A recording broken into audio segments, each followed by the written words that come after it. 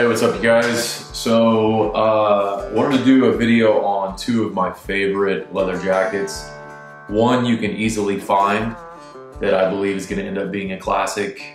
Uh, comes from a classic company. They've been around for a long time as well. Handmade jackets, they're based out of New York, which is uh, the one I'm wearing right now. And then I wanna show you the vintage one actually from the late 40s that I've gotten and probably one of my most prized favorite jackets that uh, I came across. So let's go and get into it.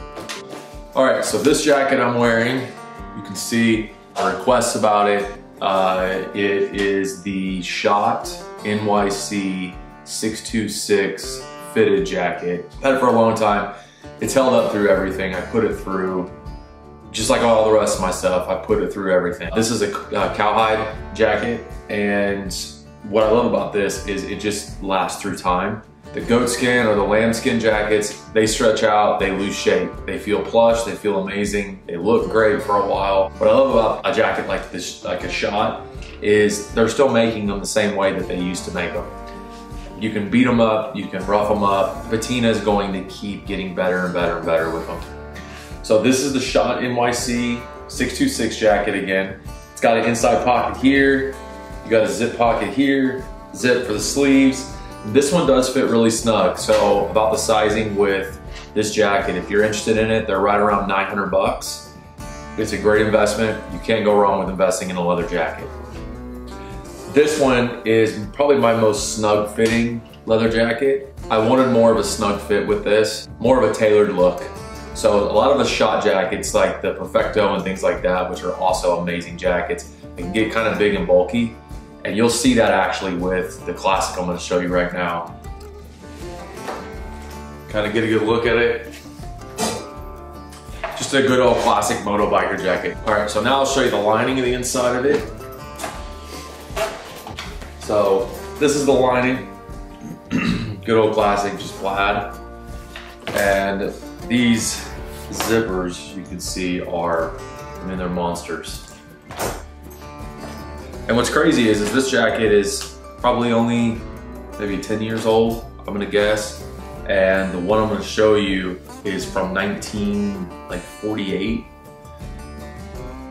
which is crazy to me that something is still being made the way they used to make it. So that's why I call this a classic. Moving on. All right, so this is the Buco J24 jacket. I got a pretty cool story about this and how I came across it. Uh, it was from an estate sale.